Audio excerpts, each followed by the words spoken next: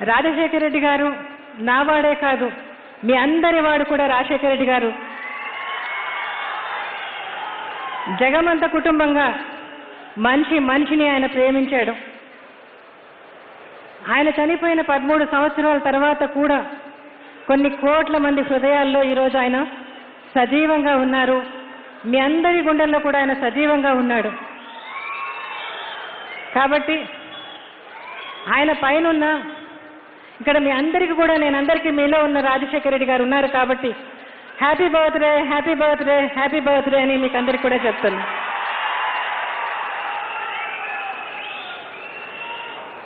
ఇకపోతే ఇప్పుడు ఈ ప్లీనరీ సమావేశాలు ఇది మూడవసారి మనం జరుపుకుంటా ఉన్నాం.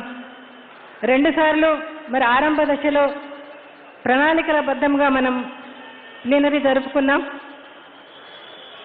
రెండవసారి మరి పోరాట దీక్షగా మనం ప్లీనరీ జరుపుకున్నాం.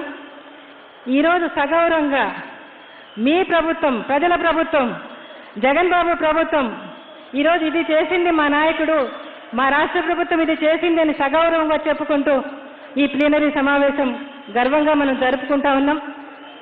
మీ అందరికీ నా బిడ్డకు మీ అందరికీ కూడా ఆశీర్వదించడానికి అభినందించడానికి ఎందుకంటే మీరంతా కూడా పాలి భాగస్తులు కాబట్టి మీ అందరినీ అభినందించడానికి ఆశీర్వదించడానికి నేను ఇక్కడికి వచ్చాను. ఇకపోతే దేశంలో ఎక్కడైనా కూడా మరి రాజకీయ పార్టీలు పుట్టాయంటే కేవలం అధికారం కోసం మాత్రమే పుడతాయి. కానీ వైఎస్ఆర్ కాంగ్రెస్ పార్టీ నల్ల కాలువలో ఏదైతే మాట ఇచ్చాడో ఆ మాట నుంచి ఈ పార్టీ పుట్టిందని కూడా మీకు అందరికీ తెలిసిందే. మహానేత రాజశేఖర రెడ్డి గారు డాక్టర్ వైఎస్ రాజశేఖర రెడ్డి గారు చనిపోయిన తర్వాత మరి ఆయన ఆయన ఈరోజు చ- చనిపోయిన తర్వాత ఆ రోజు ఆయన లేడు అంటే రా మిస్సింగ్ అంటే కొన్ని గుండెలు ఆగిపోయాయి ఆ రోజు. ఆయన లేడు రాడు అంటే ఏడు వందల మంది ప్రాణాలు విడిచారు. మరి వాళ్ళ కుటుంబాల ఆక్రందన నుంచి వారి మమకారాలను అర్థం చేసుకొని ఈ Congress party YSR Congress party పుట్టిందని కూడా మీకు అందరికీ చెప్తున్నా. రాజశేఖర రెడ్డి గారు మన మధ్య నుంచి వెళ్ళిపోయినప్పుడు ఉమ్మడి రాష్ట్రంలో నలుమూలల నుంచి మమ్మల్ని ఓదార్చడానికి మరి ఆ రోజు తండోపతండాలుగా వచ్చి వారు చూపించిన అభిమానం నుంచి వైఎస్ఆర్ కాంగ్రెస్ పార్టీ పుట్టిందని కూడా మీకు అందరికీ చెప్తున్నా. నా బిడ్డ తన తండ్రిని పోగొట్టుకొని తన తనకు ఆ బాధ ఏంటో తెలుసు కాబట్టి చనిపోయిన కుటుంబాలను ఓదార్చడానికి మీ దగ్గరికి వస్తే పగలనక రాత్రనక అపరాత్రి అర్ధరాత్రి అపరాత్రి అనక ఆ బిడ్డ కోసం మీరు కాసుకొని మీ ప్రేమ మీ అభిమానం నుంచి మేమున్నామని ఆ రోజు మీరు అన్నారు ఆ బిడ్డను ఎత్తుకున్నారు. ఆ ఆ అన్నప్పటి నుంచే మరి వైఎస్ఆర్ కాంగ్రెస్ పార్టీ పుట్టిందని కూడా మీకు అందరికీ చెప్తా ఉన్నా. భారతదేశంలో శక్తివంతమైన అధికార అధికార వ్యవస్థలన్నీ కలిసి తన మీద దా దాడి చేయగా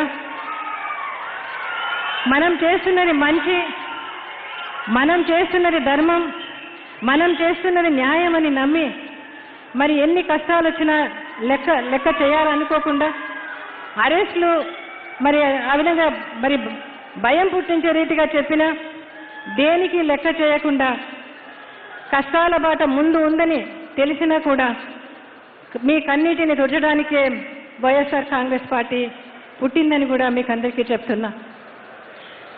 మనం ఊహించినట్టుగా అనుకున్నట్టుగానే ఎన్నో కష్టాలు బాధలు నిందలు వచ్చాయి.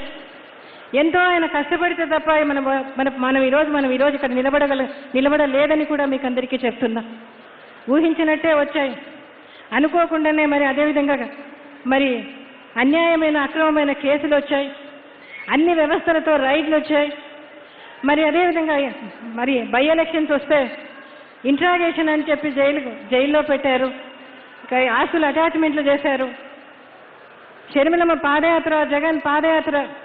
మరి ఎందరి ఈ అన్ని విష అన్ని విషయాలు కూడా మరి ఈ కుటుంబం ఎన్నో కష్టాలు నిందలు అన్ని కూడా ఎదుర్కొని నిలిచిందని కూడా మీకు అందరికీ కూడా చెప్తున్నాయి ఇవాళ. అంతేకాకుండా మరి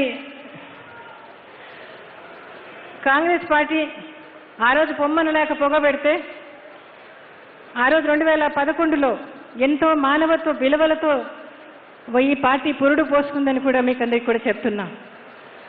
సంక్షేమం అభివృద్ధి కోసం సామాన్యుడి కోసం తన కష్టం చెప్పుకోలేని పేద కోసం వారి అవసరాలన్నీ తీర్చడం కోసమే ఈ పార్టీ పుట్టి ఎదిగిందని కూడా మీకు అందరికి కూడా చెప్తున్నా. పార్టీ అంటే ప్రజల అభిమానం పార్టీ అంటే నాయకత్వం. జగన్ బాబు నాయకుడిగా అంచెలంచెలుగా ఓర్పుతో సహనముతో అచంచల విశ్వాసంతో గుండె నిండా ధైర్యంతో మరి పేదల మీద మమకారంతో రైతు మీద కొండంత ప్రేమతో నేల తల్లి మీద గౌరవంతో ఒక్కో మెట్టు కాలినడకన ఎదిగాడని కూడా మీకు అందరికీ కూడా చెప్తున్నా. బైబిల్లో ఒక వాక్యం ఉంది తను తాను తగ్గించుకుని వాడు హెచ్చించబడతాడని. ఆ దైవ వాక్యాన్ని నమ్మి ఆచరించి కృషితో నాస్తి దుర్భిక్ష్యం అనే వేదవాక్యాన్ని త్రికరణ శుద్ధిగా అమలు చేసి నాలుగున్నర దశాబ్దాల కాలం మరి సుపీరియర్ సీనియర్ పొలిటీషియన్ను గొంతు ఆడిపో ఆరిపోయేటట్లుగా చేశాడు నా బిడ్డ. ఈ రాజకీయం నడుపుతున్నాడని కూడా మీకు అందరికీ చెప్తున్నా. జగన్ బాబు దృష్టిలో రాజకీయం అంటే అసత్యాల ప్రచారం కాదు. జగన్ బాబు దృష్టిలో మరి ప్రతిపక్షం ఏం చేస్తుందని కానీ ఏం ప్రచారం చేస్తుందని కానీ తనకు తనకు అంత దాని మీద దృష్టి పెట్టలేదు. తన ఫోకస్ పెట్టలేదు. తన దృష్టి అంతా కేవలం తను ఎన్నుకున్న ప్రజలకు న్యాయం చేయాలి తను ఎన్నుకున్న ప్రజలు ఆలోచించాలని నిజాయితీగా ప్రతిదీ ఆలోచన చేసే వ్యక్తిత్వం తనదని కూడా మీకు అందరికీ చెప్తున్నా. అందుకనే మొదటి ఒకటి ఒక సంవత్సరం సంవత్సరంన్నర లోపలనే తను చేసిన ప్రతి వాగ్దానము మరి దేశంలో ఎక్కడ కూడా ఎల ఎలక్షన్లు వచ్చినప్పుడు వాగ్దానాలు నెరవేరుస్తారు. కానీ మొదటి సంవత్సరంలోనే దగ్గర దగ్గర తొంభై శాతం మరి వాగ్దానాలు నెర నెరవేర్చి నిలబెట్టిన ఏకైక పార్టీ వైఎస్ఆర్ కాంగ్రెస్ పార్టీని గర్వంగా కూడా చెప్తా ఉన్నా. దేశ చరిత్రలో కని విని ఎరుగని రీతిగా ఒకటి అరవై లక్షల కోట్ల రూపాయలు డీబీటీ ద్వారా ఎలాంటి వ్యవస్థ లేకుండా ఎలాంటి లంచాలు లేకుండా సంక్షేమ పథకాలను మీకందరికీ అందించింది ప్రభుత్వం అని కూడా మీకు అందరికీ చెప్తున్నా. ఈ మూడేళ్ళలో మరి ఇంటి ఇంటికి గడప గడపకు తను చేసిన పనులు చెప్తా చెప్తున్నాడు.